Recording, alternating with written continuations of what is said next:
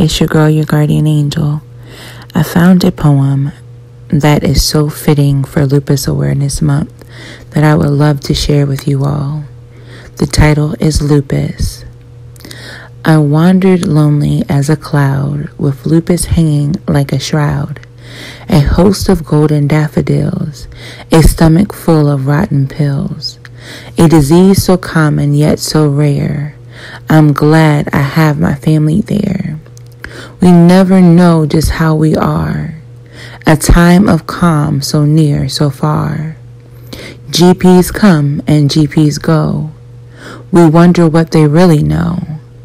To get through it all, we make amends, but couldn't manage without our friends.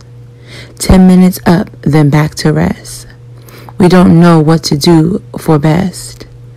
The pain puts us in such a bind. We ask ourselves, are we sound of mind? I've written this and brewed a pot, and for today I've done a lot. And now I lay me down to lie. Should I laugh or should I cry? It will not beat me, that I say. Respite will come, it will one day. Although with lupus we may see no ends, we can visit this MB and make new friends.